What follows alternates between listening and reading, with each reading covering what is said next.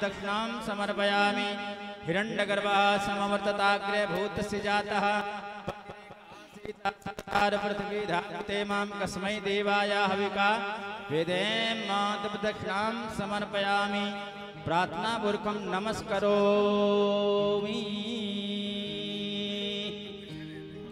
वरहापीनं नटवरवपो कर्णयो कर्णिकारं बिभ्रतिवासा कनककपिशं वैजयन्तीं च बालाम् रन्ध्राणवेणोरदरसुदया पूडयन् गोपिवृन्दैः वृन्दारण्यं सपदरमणं प्राविशत कीर्तिकीर्ति नौमिट्टते प्रवपुषे तडिदम्बराय गुञ्जावतंस परिपेच्छल सम्मुखाय वन्नस्रजे कवलवेत्रविशालवेणो लक्ष्मीश्रिये मृदुपते पशुपाङ्ग्रिजा याः श्रीमद्भागवत महापुराणाय नमः सुखाचाराय नमः वृंदादेव्य नमः प्रार्थना पुरखम नमस्करोमि। अब सभी लोग खड़े होके आरती करेंगे, आरती का दर्शन करेंगे। ये थोड़ा पंखा बंद कर दीजिए आगे वाले भैया, थोड़ी देर के लिए। ज्वालामालिन्यै नमः स्वरूपचारार्थे कन्दक्षते सम्पूज्यो चन्द्रमा मनसो जातचक्षोः सूर्यो अजायता श्रोत्राद्वायुश्च प्राणस्य मुखादग्निन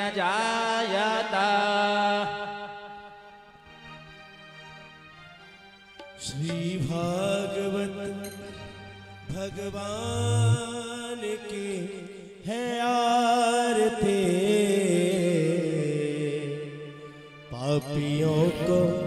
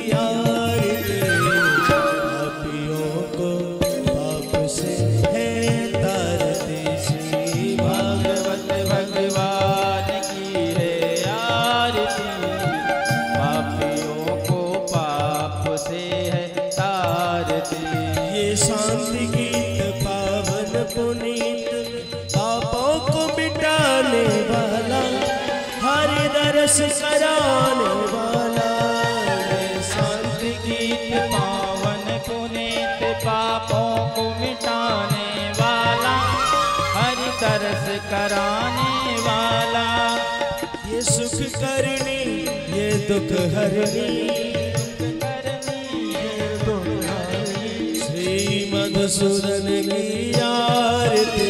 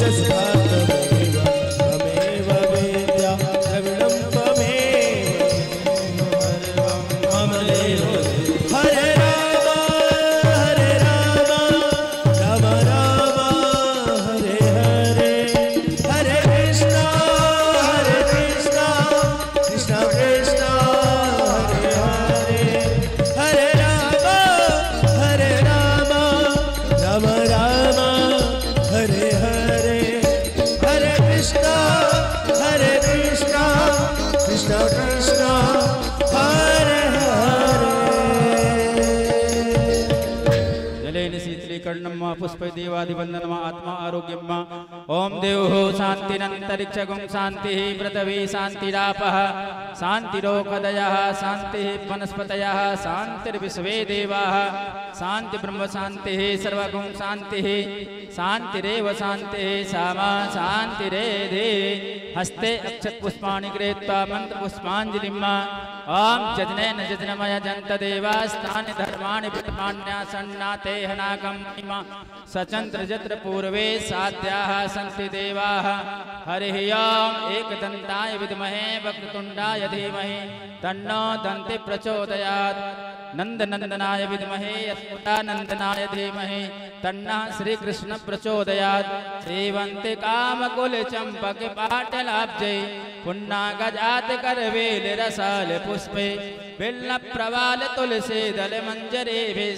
पुष्पे त्वं पूजयामि जगदीशर मे प्रसीद। नाना सुगंध पुष्पाणि यथा कालोद्भवानि च। पुष्पाञ्जलिर्मया दत्तो गृहाण परमेश्वर। पुराण पुरुषोत्तमाय नमः। मंत्र पुष्पांजलिं समर्पयामि। बोल वृंदावन बांके बिहारी लाल की। श्रीमद्भागवत महापुराण की। व्यास नारायण भगवान की जय। सुखदेव जी महाराज की जय। परीक्षित जी महाराज की जय। अनंत श्री हनुमान जी महाराज की जय। गौरी शंकर भगवान की जय। गोपीनाथ भगवान की जय। जय जय श्री राधे। जय जय श्री राधे। जय जय श्री राधे। नम पार्वती पतये हर हर महादेव शंभो। मंचस्थ विराजमान आचार्य श्री विष्णुकांत शास्त्री जी महाराज इस यज्ञ के प्रमुख यजमान श्री रमेश जी,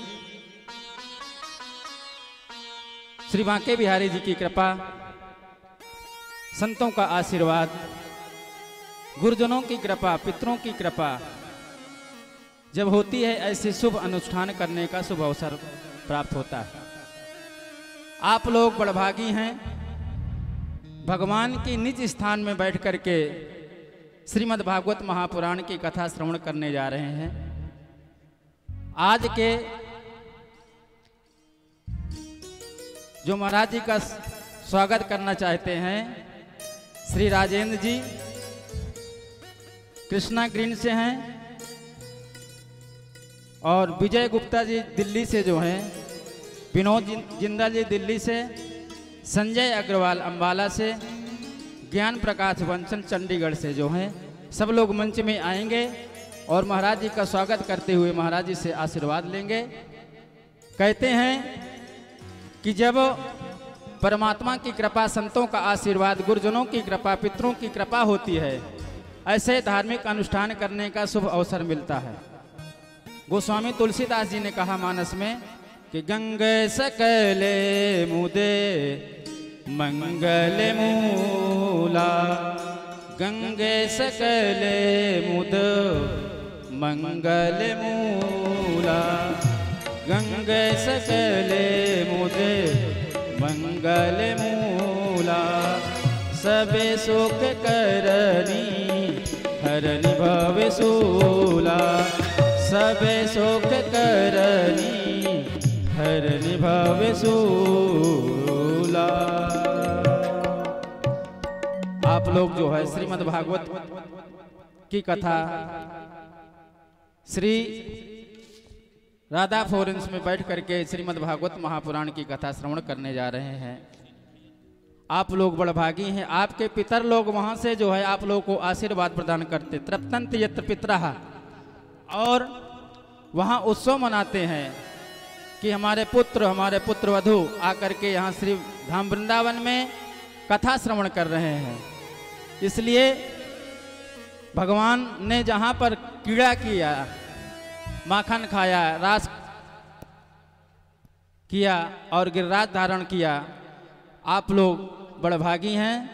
सब लोग कृपया शांति का परिचय देते हुए श्रीमद् भागवत महापुराण की कथा श्रवण करेंगे और जीवन को कृतार्थ करेंगे। जय श्री कृष्णा जय श्री राधे।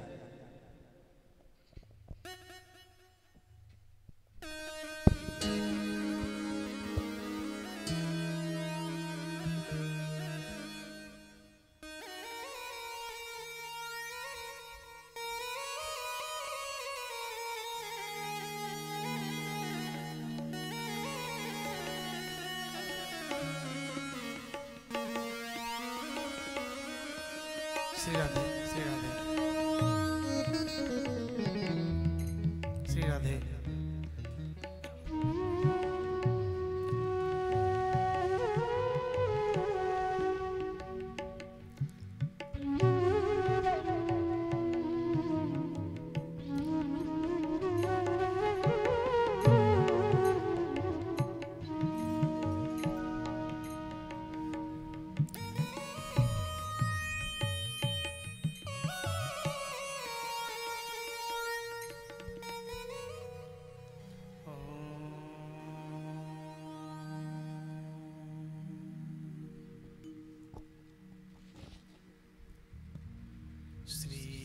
श्रीगणेशाय नमः।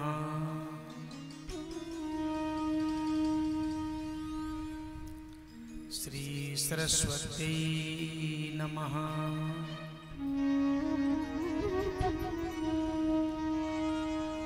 श्रीबालकृष्णलाल चरणकमलेभ्यो नमः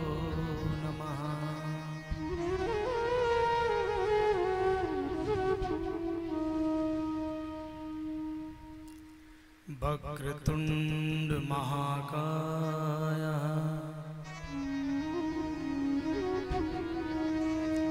सूर्यकोटि समप्रभा।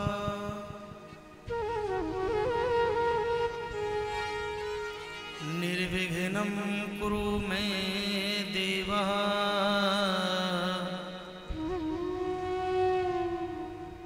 सर्वकार्येषु सर्वदः।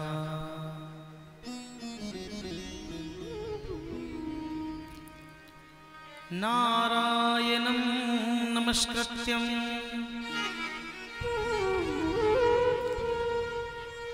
नरं चेव नरोत्तमम्।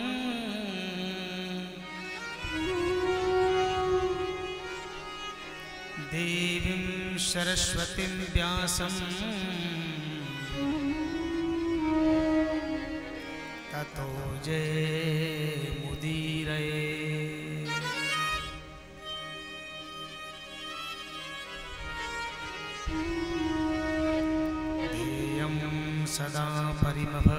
परिमभग्नमभिष्टदोहम् तीर्थास्पदं शिविरञ्चिनुतं शरण्यम्।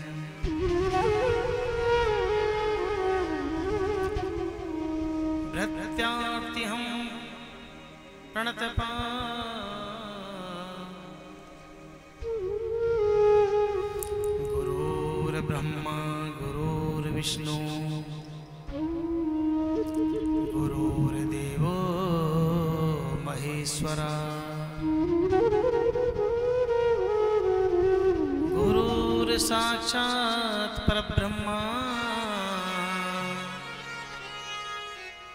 तस्मै श्रीगुरुवे नमः।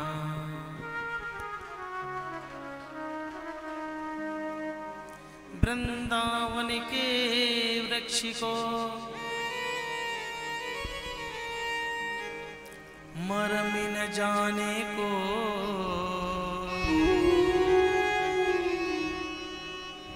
डाल डाल और पात पे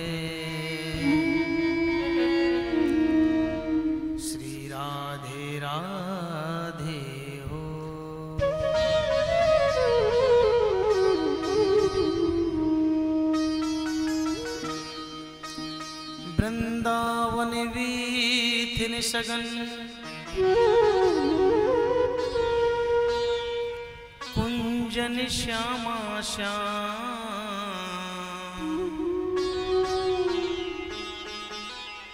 बेहरत प्यारी राधिका। श्री दूल्हा श्याम सुजा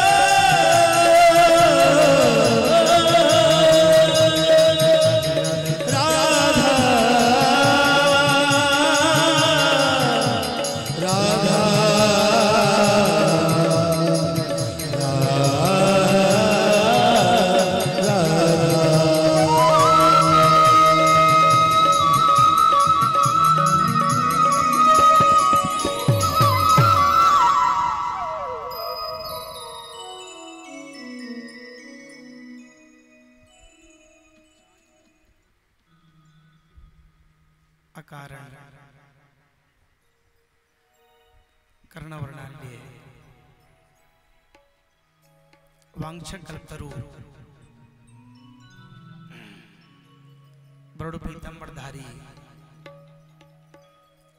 श्री बालकृष्ण लाल के चरणों में हम सभी भक्ति प्रिय माताएँ एवं भाव प्रिय भाई ठाकुर जी के चरणों में बारंबार प्रणाम करते हैं। बड़ा सौभाग्य का दिन है। आज श्रीमद् भागवत कथा हम सभी को श्रवण करने को मिल रही है।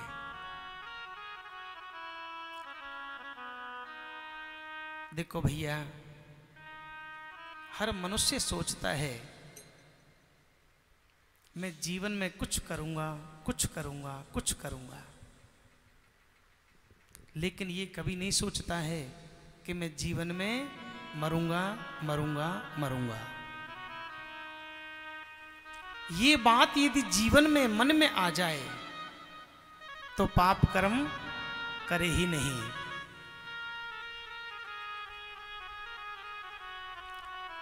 जाने में, अनजाने में जीव से कितनी गलतियाँ होती हैं, कितने पाप होते हैं, उनका प्राश्चित करने के लिए केवल श्रीमद् भागवत जी हैं।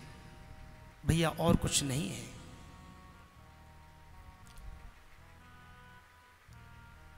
श्रीमद् भागवत,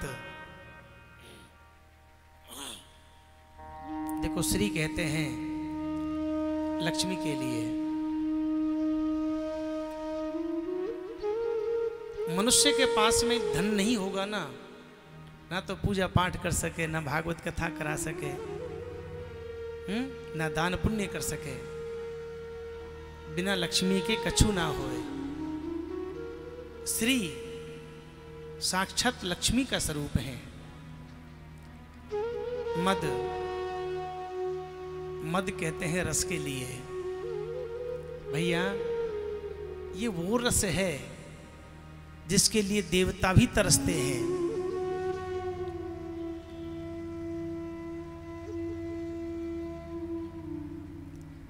भागवत। देखो, भागवत में चार अक्षर हैं। भागवत। भय का मतलब भक्ति।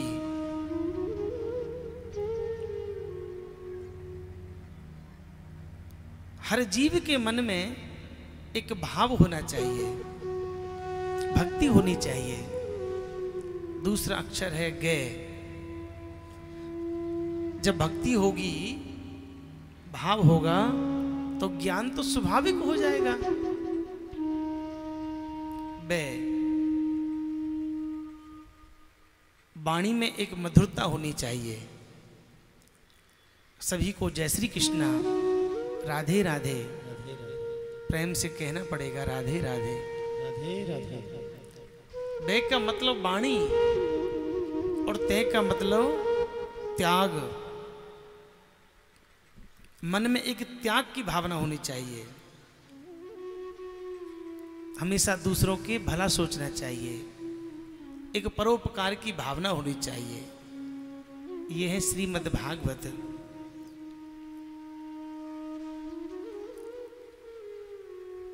कि भाके कहे से भाग खुल जान के।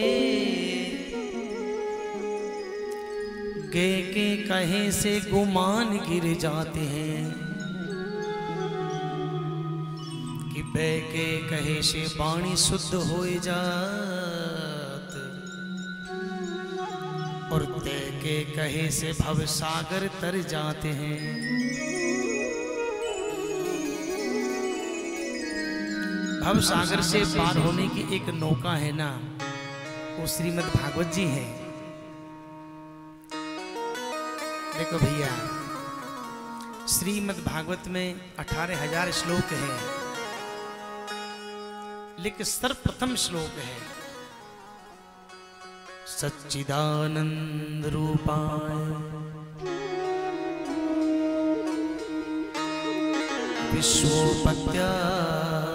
विश्वोपत्यादिहेतवे तापत्रे विनाशा श्रीकृष्णाय वयं नमः।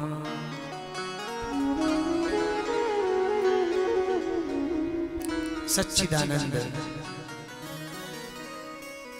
सच्चिदानंद कौन है? सत्य चित और आनंद। सत्य स्वरूप कौन है? वास्तव में ठाकुर जी ही सत्य है। संसार तो सब झूठा ही झूठा है। ठाकुर जी का जो नाम है ना, वो सत्य है। ठाकुर जी की जो लीला है ना, वो सत्य है। सत्यम परम धीमही। सत्य तो वास्तव में संसार है। सच्चिदानंद। चित एक मन को जो शांति मिलती है ना, वो ठाकुर जी के नाम में मिले हैं। देखो, घर में सास और बहू है। खटपट हो जाती है। जब सत्संग में जाते हैं तो बहुत शांति मिलती है। मंदिर में जाते हैं तो शांति मिलती है। मन को शांति का जो स्थान है ना, वो केवल ठाकुर जी का नाम है। सच्चिदानंद, एक आनंद की अनुभूति जो होती है ना, वो वास्तव में ठाकुर के नाम में होती है, और कहूँ ना होए। सच्चिदानंद रूपाय, विश्वोपत्यादि हेतवे। विश्व की उत्पत्ति और पालन करने वाले मेरे गोविंद तापत्रय विनाशाय। तीनों तापों में आदि देविक आदि भौतिक आध्यात्मिक। श्री कृष्णाय वयम नुमा। ऐसे गोविंद के चरणों में हम सब बारंबार प्रणाम करते हैं। बोलो, कृष्ण कन्हैया, लाल की जय हो। नेमी से सूत मासीनम। अभिभ्याद महामतिम। कथामृतर सृष्वादा कुशल सोन को ब्रवी।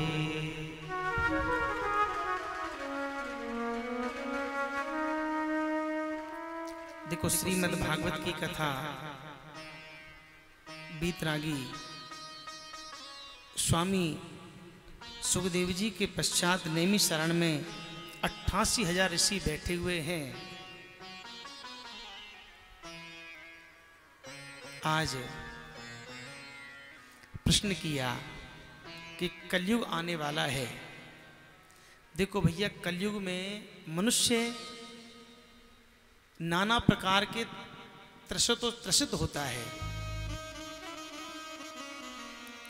कलयुग में जीव बहुत अशांत है। इनका उद्धार कैसे होगा?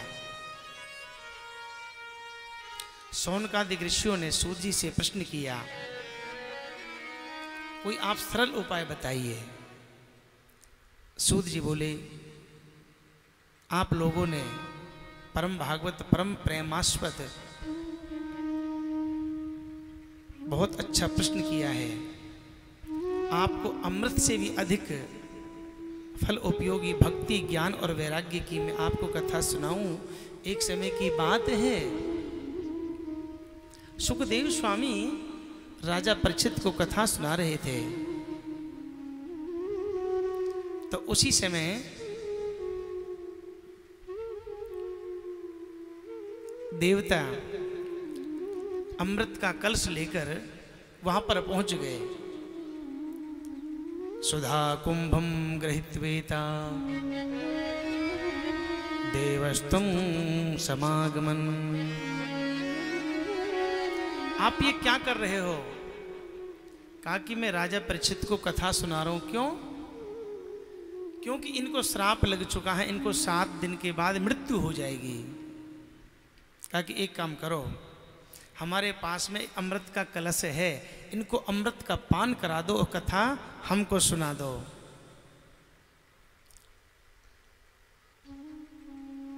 राजा परीक्षित ने इनकार कर दिया। देवताओं ने कहा कि देखो कितना पागल है। अरे, अमृत का पान करने के लिए, अमृत को पाने के लिए हमने कितना युद्ध करना पड़ा, कितना संघर्ष करना पड़ा, तब जाके हमको अमृत का कलश मिला है। और ये अमृत के कलश को तिरस्कार कर रहा है।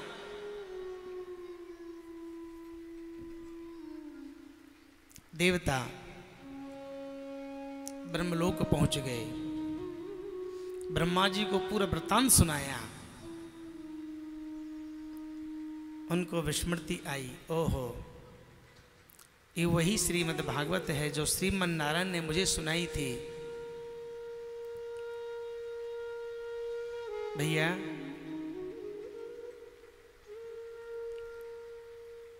आज नारद जी बहुत उदास है। क्यों?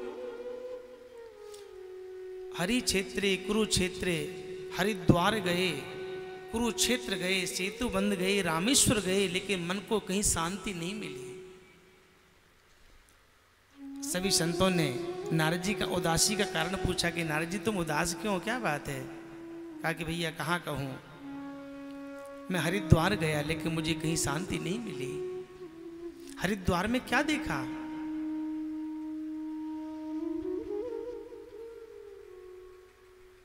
एक आश्रम में झगड़ा हो रहा है। मैंने पूछा, भैया, ये झगड़ा कहाँ पे हो रहा है? तो एक सज्जन ने कहा कि, मौनी बाबा के आश्रम में झगड़ा हो रहा अच्छा ले महाराज। जिनका नाम है मोनी बाबा, उनकी कुटिया में झगड़ो है रहे, ओए। जो स्वयं मौन रहते हैं। कुछ दूर गया तो छोटे छोटे बालक खेल रहे हैं। मैंने कहा कि भैया, ये बालक कौन के हैं? एक सज्जन ने कहा, ये ब्रह्मचारी जी के बालक हैं। ले महाराज। जिनका नाम है ब्रह्मचारी जी, उनके एक दर्जन बालक खेल रहे हैं। आगे गया। ये धर्मशाला किसकी है? गौशाला किसकी है? गाड़ी किसकी है? कहा कि त्यागी बाबा की है, ले हो। जिनका नाम है त्यागी बाबा, उनके महल अटारी बने हुए हैं। गृहस्थियों के घर में गया तो गृहस्थी बड़े दुखी हैं। भाई भाई का कहना नहीं मानता है। पुत्र पिता का कहना नहीं मानता है। श्याल को बुद्धिदायका मालूम है घर में कोई कहनो माने तो कौन को माने? साले को या फिर साली को? देखो, हमारे ब्रज में कहावत है कि दीवार को बिगाड़े आरो और घर को बिगाड़े हम कछु ना कहेंगे। यदि दीवार के अंदर छोटे छोटे आले बना देंगे ना तो दीवार की शोभा ही समाप्त हो जाएगी। शाल को बुद्धिदायक का। अपने घर में अपनों से बड़ों का कोई सम्मान नहीं करता है। गृहस्थी बड़े दुखी हो रहे हैं।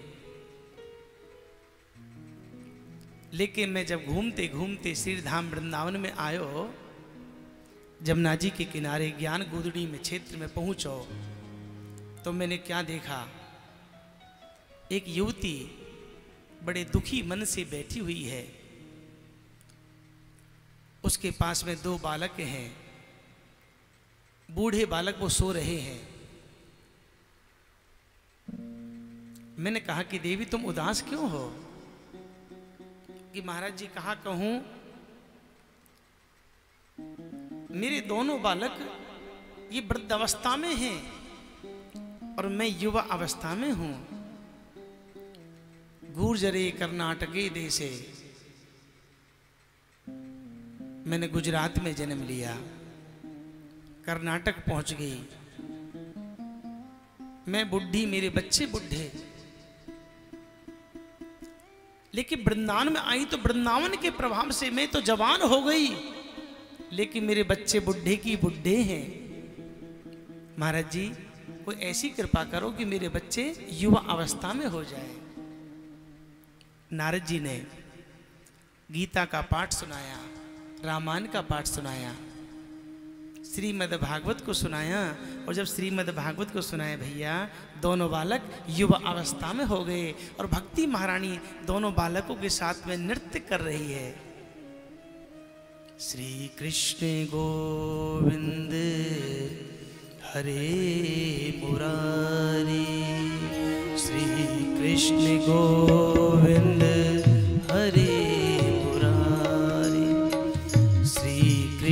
कृष्ण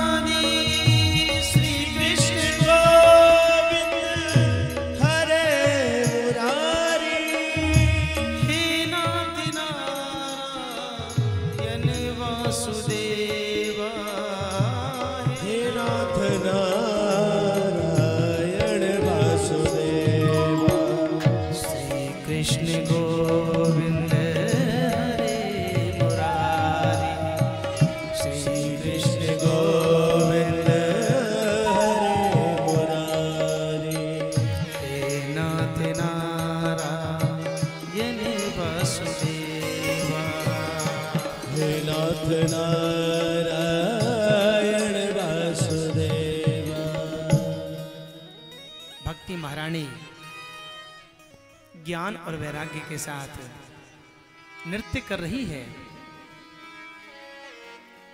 जब नारद जी जाने लगे तो भक्ति महारानी ने कहा कि महाराज, रुको। भो भो साधो छनम तिष्ठा। मुंचितामपि नाशया।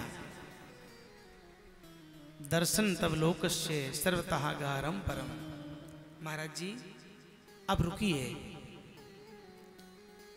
आज आपके दर्शन से हमको बहुत शांति मिली है। देखो भैया, जीवन में धन मिल जाएगा, कोई बहुत बड़ी बात नहीं है। राजपाठ मिल जाएगा, कोई बहुत बड़ी बात नहीं है।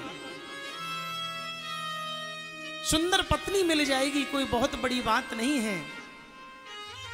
हाथी, घोड़ा, सब कुछ मिल जाएँगे। लेकिन भैया संत का संग और सत्संग, ये बड़े भाग्य से मिल रहे हैं। हे महाराज, आज आपके दर्शन से मैं बहुत प्रसन्न हूँ। मेरे बच्चे युवा अवस्था में हो गए, आप मुझे छोड़ के मत जाइए।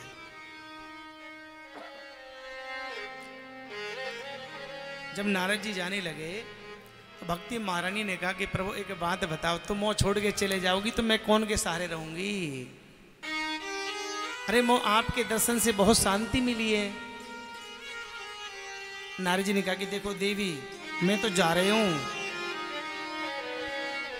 तो फिर मैं कहा जाऊँगी? जहाँ भगवान की कथा हो, भगवान का कीर्तन हो, आपने देखा होगा जब भगवान की कथा होती है, कीर्तन होता है ना। रोम रोम खड़ा हो जाता है, रोंगटे खड़े हो जाते हैं। ये एक भाव है। समझ लेना, भक्ति महारानी आपके हृदय में आके विराजमान हो चुकी है।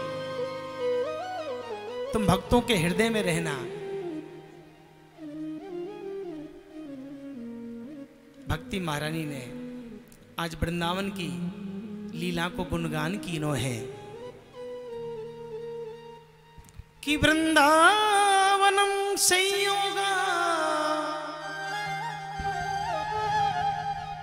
कि पुरस्तम तरणी नवा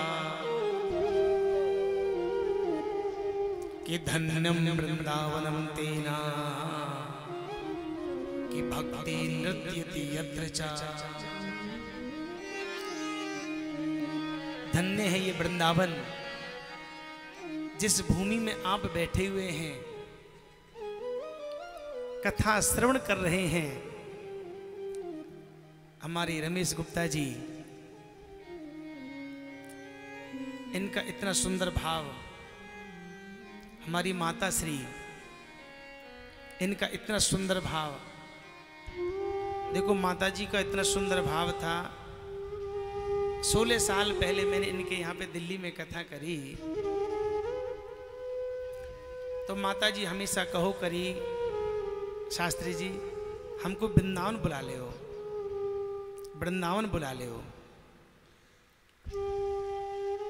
आज से चार पाँच वर्ष पूर्व वृंदावन में आई। उनकी बहुत इच्छा थी कि मैं वृंदावन में वास करूँ।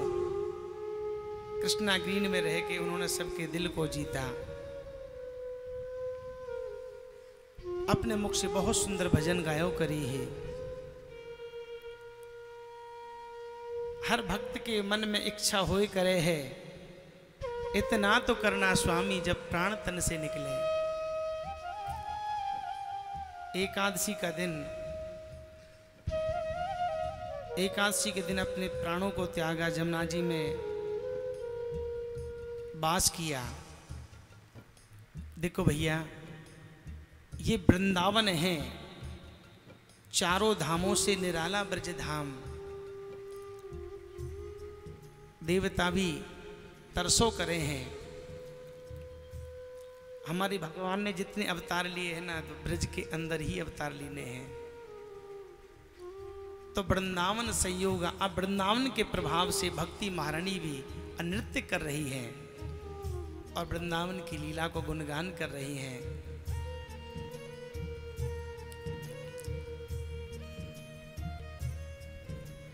वृंदावन के वृक्ष को मर्म न जाने को। वृंदावन के वृक्ष को मर्म न जाने को। वृंदावन के वृक्ष को मर्म न जाने को। वृंदावन के वृक्ष को मर्म न जाने को। डाल डाली और पात पात पे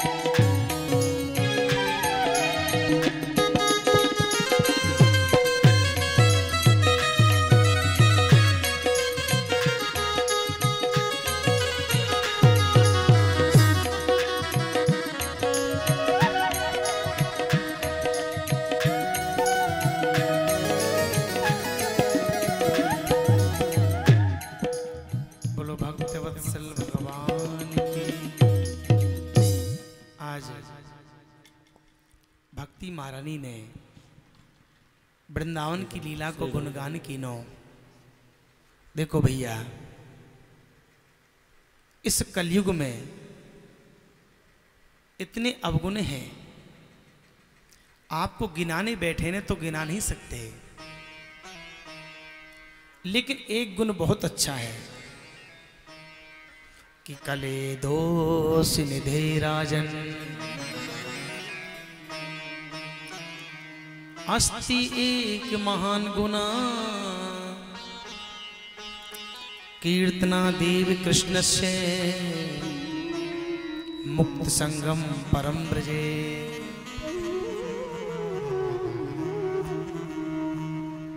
ठाकुर जी का कीर्तन, ये सबसे बड़ा गुण है। गोस्वामी बाबा ने भी रामचरित्र मानस में लिखा है कलयुग केवल नाम आधारा, सुमिर सुमिर नर उतर ही पारा।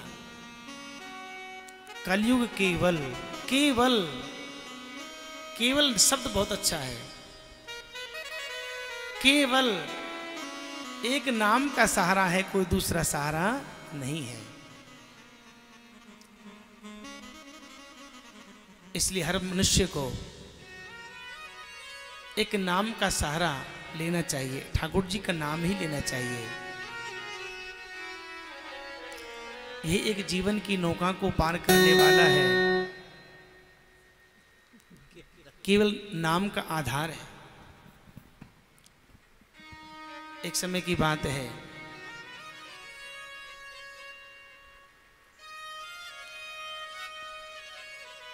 सत्यकर्म सूचको नूनम सत्यकर्म करना चाहिए। बिन सत्संग विवेक न होई, राम कृपा बिन सुलभ न सोई। बिना सत्संग के कोई विवेक नहीं होता है, कोई ज्ञान नहीं होता है। इसलिए हर मनुष्य को सत्संग करना चाहिए। सदा सेव्या सदा सेव्या श्रीमद् भागवती कथा। यस्य श्रवण मात्रेण हरिश्चित्तम समाश्रयित। हमेशा ठाकुर जी का चिंतन करना चाहिए। ठाकुर जी की कथा सुननी चाहिए। यही एक कल्याणकारी है। देखो भैया, ये मानवा पाप कृतस्तु सर्वदा। सदा दुराचार विमागा क्रोधाग्नि दग्धा कुटिलश्च कामना। सप्ताह जग्गीन कलो पुनंतिते। कोई कितना कुटिल क्यों ना हो, कामी क्यों ना हो, दुराचारी क्यों ना हो, पापी क्यों ना हो, संकल्प लेकर एक भागवत कथा को सुने तो उसके पापों का प्रायश्चित हो जाता है।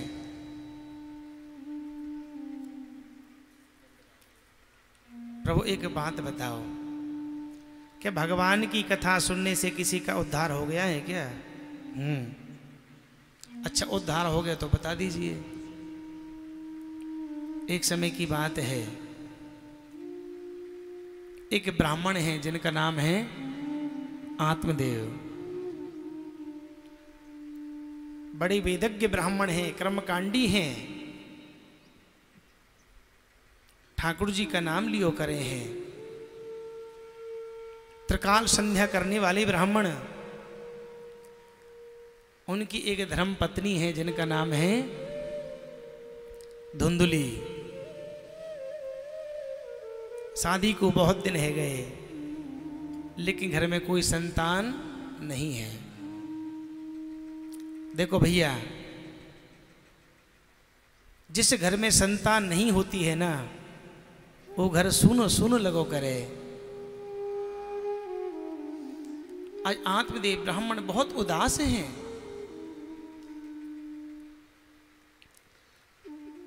दिग्ग जीवितम प्रजाहीनम। धिग्रहम च प्रजा बिना धिग धनम चानपत्य से कुलम संतति बिना। धिक्कार है उस जीवन के लिए, जिस घर में धन ना हो। धिक्कार है उस जीवन के लिए जिस घर में संतान ना हो। सूना सूना लगता है। घर में धर्म पत्नी है, अब वो कहनो ना माने। आत्मदेव ब्राह्मण ने कहा कि देवी, एक काम करो, आज एकादशी को दिन है। चलो, आज हम व्रत रहेंगे। कहा कि वो भूखो ना रह जाए। देवी आज गंगा दशहरा को दिन है, गंगा जी में स्नान करने को बड़ो महत्व हो करे है। चलो आज हरिद्वार चलें।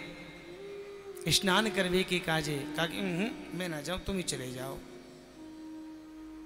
एक तो घर में संतान ना आए, और दूसरी जो पत्नी कहनो ना माने महाराज, अब पंडित जी ने सोची, करूँ तो करूँ कहा? अपने प्राणों की आहुति दे दूँ। पंडित जी पहुँच गए।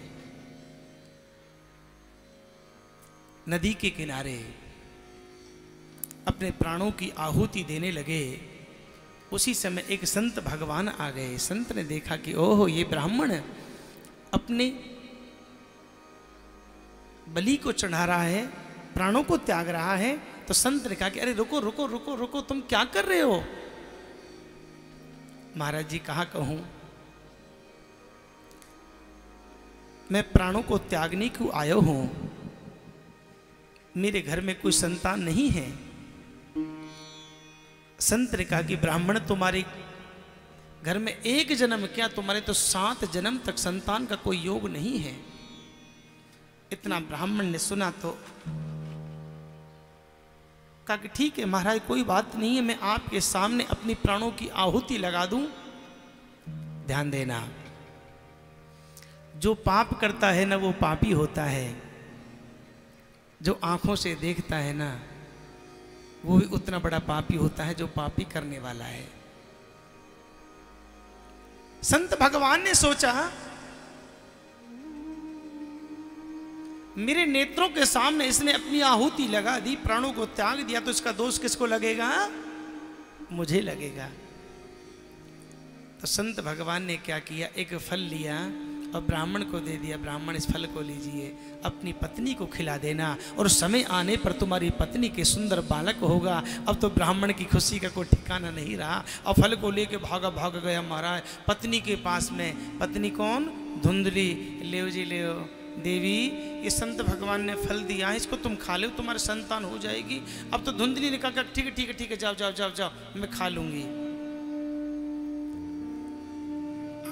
धुंधली उस फल को लेके बैठी है, मन ही मन सोच रही है, यदि इस फल को मैंने खा लिया तो मैं गर्भवती हो जाऊँगी और गर्भवती हो जाऊँगी ना? कहीं ऐसा ना होए, जब मेरे बच्चे का जन्म होगा ना तो नंद आयो करे। नंद को बुलाए ना।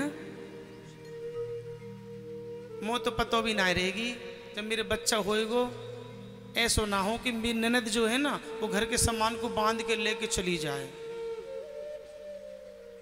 देखो, जिसके मन में बुरे बुरे विचार आयो करे हैं ना, उसी का नाम है धुंधली। धुम धुम क्रोध से धुंधली। जो अपने बात की पुष्टि करे, जो मैं कह रही हूँ ना, वो सत्य है। और जो अड़ोसी पड़ोसी सास नंद कह रही है, सब बेकार है। धुंधली ने सोचा, हे भगवान, कहीं ऐसो ना होए। मैंने फल को खा लिया, मैं तो गर्भवती हो जाऊँगी। सुखदेव स्वामी अपनी मैया के पेट में बारह वर्ष तक बैठे रहे। यदि मेरो छोरा मेरे पेट में बारह साल तक बैठो रहेगो, मैं तो वैसे ही मर जाऊँगी। हम्म हम्म। मैं इस फल को नहीं खाऊँगी। धुंधली ने सोचा, कहीं ऐसा ना होए मेरे गाँव में आग लग जाए, जब मेरे गाँव में आग लग जाएगी ना, सब तो भाग जाएँगे, मुँह तो भगो भी ना जाएगो। ऐसा सोच ही रही थी। अब सामने से धुंधली की एक बहन है, जिसका नाम है रुंधली। रुंधली ने कहा कि, बहन, कहा बात है? तुम उदास क्यों हो? क्या बात है? अरे बहन, कहा कहूँ, तेरे जीजा जी या फलगू लेके आए? कहा कि फल खा ले, तेरे संतान है जाएगी, लेकिन मैं ना खाऊं। तो रुंदली ने कहा कि बहन, एक काम करो तो अपने पेट में कपड़ा बाँध लो और कपड़ा बाँध के घर में बैठ जाओ, सबसे कह दो कि मैं गर्भवती हूँ। मेरे बालक होने वाला है, मैं अपने बालक को आपको दे दूँगी। धुंधली ने कहा कि बात तो सही है। देखो भैया एक बस में एक सीट के ऊपर दो पुरुष बैठे हैं, चार छह घंटे बैठे बैठे सफ़र बीत जाएगा। और एक सीट के ऊपर एक स्त्री बैठी है और दूसरी आगे बैठ जाए, महाराज फिर देखो, अरे बहन कहाँ ते आ रही है? कहाँ जा रही है? अच्छा एक बात बता, तेरे ससुराल कहाँ है? तेरे कितने बच्चे ऐसे बातें करे जैसे मान ना मालूम कितनी पुरानी रिश्तेदारी हो कोई। धुंधली ने ऐसा ही किया। पेट में कपड़ा बाँध लिया, गुप्त रूप से घर में रहने लगी। अब लेके फल का क्या करें? कहा कि परीक्षा के लिए इस फल को एक गऊ को खिला दो। वो फल एक गऊ को खिला दिया। समय आने पर गऊ ने प्रसव हुआ। एक बछड़े को जन्म दिया। कितना सुंदर बछड़ा है, मनुष्य के जैसा शरीर है और गऊ के जैसे कान है। गऊ के जैसे कान जिसके हों, उसी का नाम है गऊ करण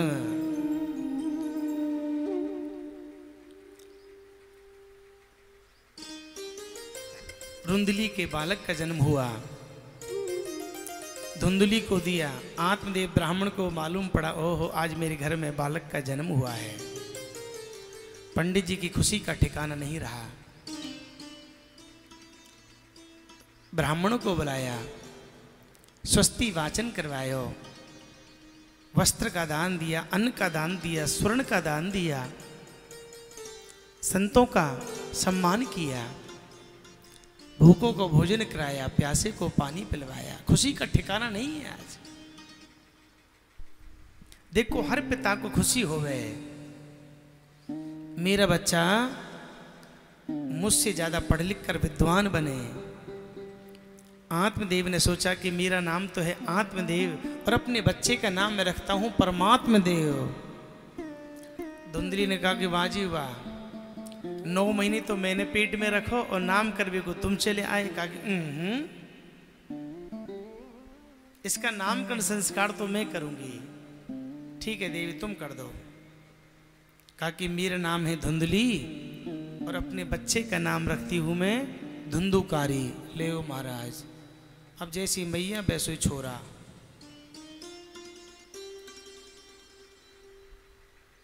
धुंधुकारी पाँच वर्ष के हो गए। जब पाँच वर्ष के हो गए, अपनी गली मोहल्ले में जामे एक सूरदास बाबा जा रहे थे तो बाबा से कहा कि बाबा, तुम कहाँ जा रहे हो? कहा कि बेटा, मैं घर को जा रहे हूँ। इसलिए बाबा तो को दीखे ना, तू मेरे हाथ पकड़ ले, तेरे घर पे मैं छोड़ के आऊँ। तो धुंधुकारी ने क्या किया? बाबा का हाथ पकड़ा, और कुएँ के पास ले गए, और कुएँ में ऐसा धक्का दिया, बाबा का गोविंदाय नमो नमः। आत्मदेव ब्राह्मण को मालूम पड़ा। ओहो। मेरे घर में कुपुत्र ने जन्म लिया है। अब मैं इस घर में नहीं रहूँगा। आत्मदेव ब्राह्मण ने अपने घर को छोड़ दिया, तीर्थाटन किया, भगवान का भजन किया।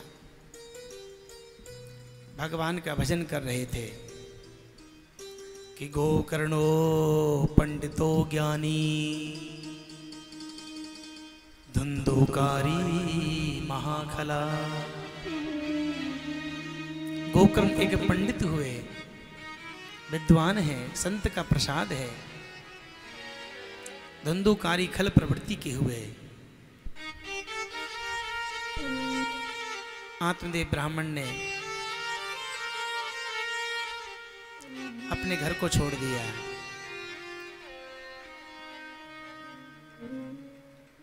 गोकर्ण ने कहा कि पिताजी तुम चिंता क्यों करते हो? कस्य माता, पिता कस्य? कौन किसकी माता है, कौन किसका पिता है, कौन किसका भाई है, कौन किसी का बंधु नहीं है? अर्थकालीन संबंधा, काकश्य परिवेदना। देखो, जब तक भुजाओं में शक्ति है ना, और जब तक धन है, सब अपने हैं, जब धन समाप्त हो जाता है, भुजाओं की शक्ति समाप्त हो जाती तो कोई किसी का नहीं है। पिताजी, आओ प्रभु का चिंतन करें हैं, प्रभु का भजन करें हैं। गोकर्ण और आत्मदेव ब्राह्मण तीर्थटन में चल दिए। श्री कृष्ण गोविंद हरे मुरारी। श्री कृष्ण गोविंद।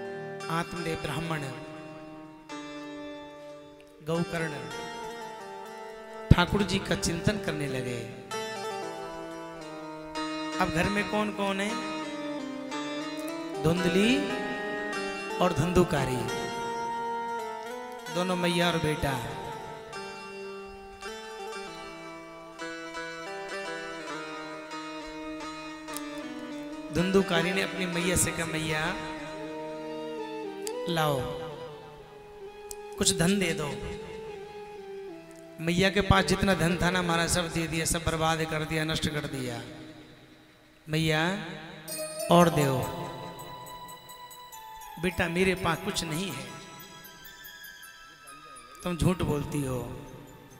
देखो, तुम्हारे कानों में है, तुम्हारे हाथों में है, तुम्हारी उंगलियों में है, मैया ने सब कुछ निकाल दिया, धुंधुकारी को दे दिया, सब कुछ नष्ट कर दिया।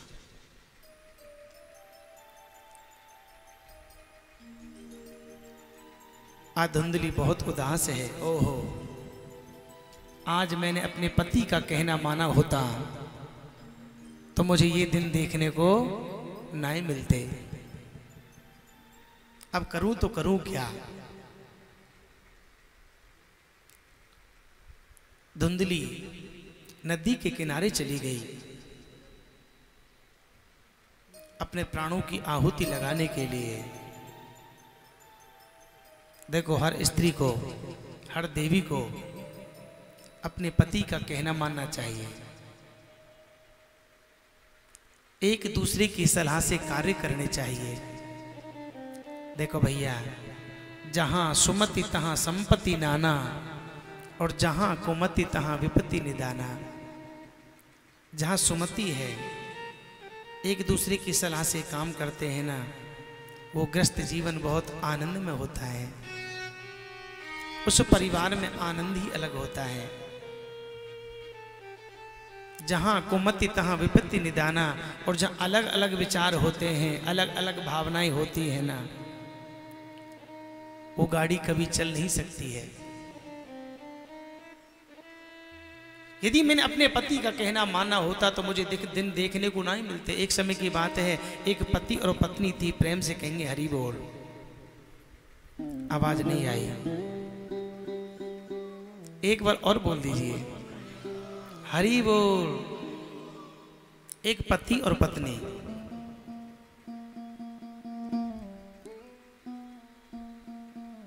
पत्नी। पति का कभी कहना नहीं मानती थी। पति देव ने कहा कि देवी आज एकादशी को दिन है व्रत कर ले कहा कि "हम्म, आज पूर्णमासी का दिन है हम व्रत कर लें। कहा कि ना ना ना वो भूख ना रह जाए। अब ठाकुर जी की ऐसी कृपा हुई जो पति देव थे ना उनके जो पिताजी थे उनका गोविंदाय नमो नमा। अब छोड़ के चले गए। अब पति देव ने सोचा मैं अपनी पत्नी से कहूँगा कि इनको संस्कार कर ले तो करेगी ना है। अब कहाँ करना चाहिए? पति देव ने कहा कि देखो देवी जो तुम्हारे ससुर जी थे ना हम्म, वो हमें छोड़ के चले गए। हम उनको संस्कार ना करेंगे। पत्नी ने कहा कि वाजी हुआ मेरे एक ही तो ससुर जी थे मैं तो धूमधाम से बड़े भाव से उनको संस्कार करूँगी। पति देव ने कहा कि, देवी, मैं भी तो यही चाहूँ। संस्कार किया। देखो देवी, तुम्हारे ससुर जी को हम गंगा जी लेके ना जाएँगे? वाजीवा मैं तो गंगा जी लेके जाऊँगी। ठीक है देवी, तुम गंगा जी ले जाना, लेकिन देखो रास्ते में जाएँगे ना तो रास्ते में खाने पीने के लिए कुछ मत बनाना। वाजी वाह, मैं को भूखी मरूँगी? भोजन बना के ले गए। हरिद्वार पहुँच गए। हर की पौड़ी पे अस्थियाँ प्रभावित करी। देखो देवी, गंगा जी में पानी बहुत है। तुम किनारे बैठ के स्नान कर लो, डुबकी मत लगाना। वाजी वाह, मैं इतनी दूर से चल के आई हूँ, मेरे को किनारे बैठ के नहाऊँगी, मैं तो डुबकी लगा के नहाऊँगी। अब देवी ने क्या किया महाराज? हर की पौड़ी पे पहुँची, और घाट पे ऐसी छलांग लगाई गंगा जी में महाराज। अब तो ऊपर नीचे ऊपर नीचे गंगा मैया ने गोदी में ले लिया, और बह के बहुत दूर चली गई। पति देव ने कहा कि जय हो गंगा मैया, आज आपने अपनी गोदी में ले लिया।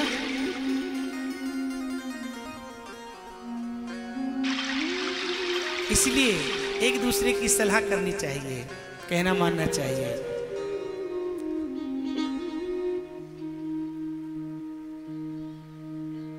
धुंधली ने प्राणों की आहुति लगा दी। घर में धुंधुकारी है। पाँच पाँच वैश्याओं को घर में ले आए। जब पाँच पाँच वैश्याओं को घर में ले आए, खाने को, अन्न पहनने को, वस्त्र चाहिए, कहाँ से लेके आए, चोरी करके लेके आए, वैश्याओं ने सोचा रे राम राम राम। आज ये राजा के धन को चुरा के लेके आए हैं। राजा को मालूम पड़ा ना तो राजा इनको बंदी बना के रखेगा। हमको भी बंदी बन के रहना पड़ेगा। अब क्या करना चाहिए? पाँचों वैश्याओं ने क्या किया? रात्रि के बारह बजे धंधुकारी जब धन को चुरा के लेके आए, उनको भोजन कराया। उनके गले में एक रस्सी डाल दी, गलफांस डाल दिया। उनके प्राणों की आहुति निकल गई। इसे कहते हैं अकाल मृत्यु। देखो भैया जिसकी अकाल मृत्यु हुए ना, वो प्रेत योनि में जायो करे हैं। छत से गिर के मर जाना, समय से चले जाना। प्रेत योनि में जाते हैं और देखो भैया प्रेत का जो मुँह होता है ना, वो एक बहुत छोटा होता है, सुई के छिद्र के बराबर। सुई का छिद्र कितना होता है, उतना ही प्रेत का मुँह होता है। गोकर्ण को मालूम पड़ा कि ओहो, आज मेरे भाई की मृत्यु हो गई है। अपने भाई के लिए पिंडदान किया, श्राद्ध किया, तर्पण किया।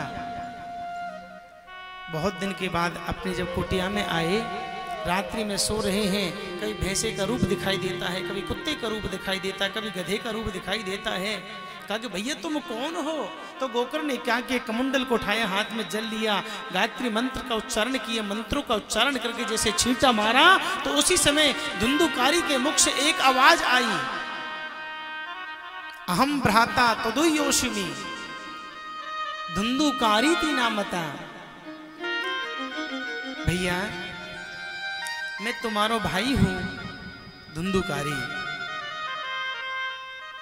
मैंने ब्राह्मण कुल में जन्म लेने के बाद भी अपने ब्रह्मत्व को नष्ट कर दिया। भैया, मेरा कोई उपाय करो, उद्धार करो। गोकर ने कहा कि भैया, मैंने आपके लिए पिंडदान किया, श्राद्ध किया, तर्पण किया।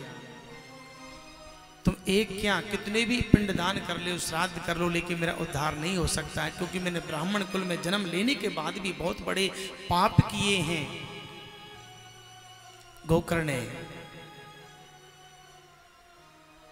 एक हरा बाँस गाड़ दिया। उसमें सात गांठ हैं। धुंधुकारी को आसन दिया। श्रीमद् भागवत कथा को सुनाया। एक दिन में एक ग्रंथि फट गई, दूसरे दिन में दूसरी, सातों दिन में सातों ग्रंथियाँ फट गई। ठाकुर जी का विमान आया और धंधुकारी को विमान में बैठाया और विष्णु धाम को लेकर चली गई बोलो, कृष्ण कन्हैया लाल, जय अब जितने भी श्रोता थे, श्रोताओं ने कहा कि प्रभु, एक बात बताओ।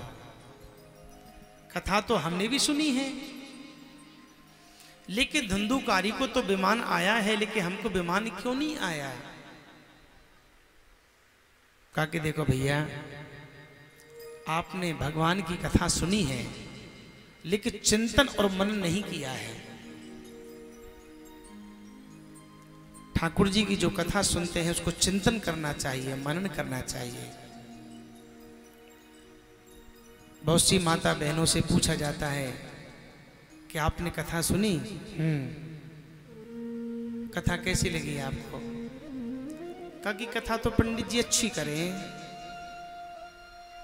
अच्छा एक बात बताओ। आज आपने कथा में क्या सुना? कहा कि ये हमें ना मालूम हमने कहा सुनो। कथा सुनी तीन घंटे और पल्ला झाड़ के माताएँ बहने भाई सब चले गए देखो, श्रोता भी एक प्रकार के नहीं, तीन प्रकार के होते हैं। प्रेम से कहेंगे, हरी बोल। आवाज़ नहीं आई।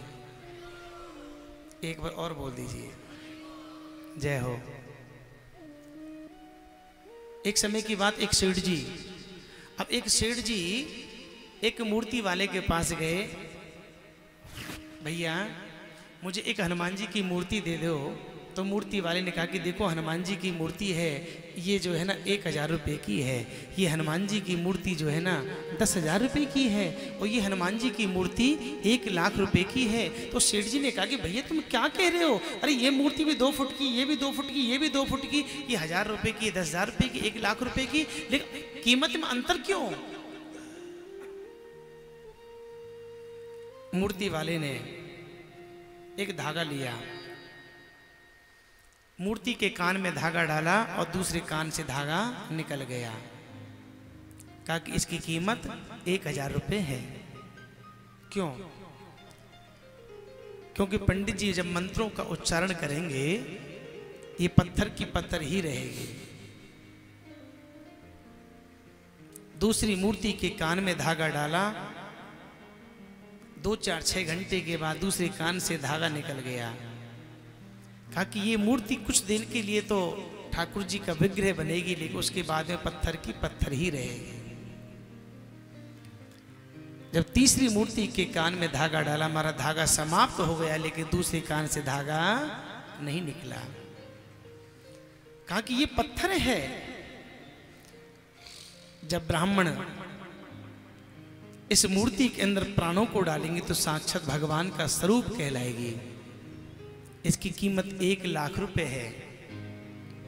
उसी प्रकार श्रोता होते हैं। देखो महाराज, बहुत सी माताएँ बहनें ऐसी होती है, कथा सुनी कहा कि पता नहीं है। और बहुत सी माताएँ ऐसी होती कहा कि देखो कल तो पंडित जी ने कथा में ये सुनाया और परसों क्या सुना ये पता नहीं है। और बहुत सी माताएँ बहनें ऐसी होती हैं कहा कि हमने कथा में पहले दिन ये सुना, दूसरे दिन ये सुना, तीसरे दिन ये सुना, सातों दिन की कथाएँ बता देती हैं। भैया, भगवान की कथा को श्रवण करना चाहिए, चिंतन करना चाहिए, मनन करना चाहिए।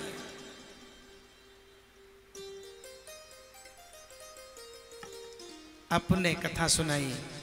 सभी श्रोताओं ने बड़े भाव के साथ कथा सुनी और ठाकुर जी से यही मांगा, बोलो, कृष्ण कन्हैया, लाल की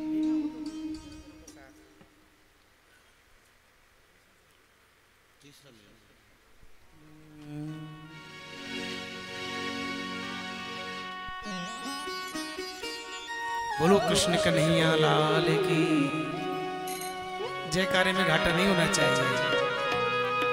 एक बार बड़े भाव के साथ में जयकर लगाएँगे बोलो, कृष्ण कन्हैया लाल की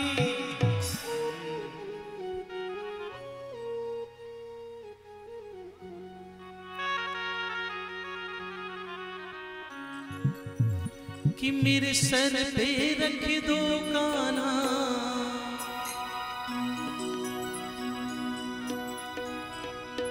मेरे सर पे रख दो कान्हा। अपने ये दोनों हाथ। कौन कौन चाहेगा? उठा लेंगे दोनों हाथ। कि देना हो तो दीजिए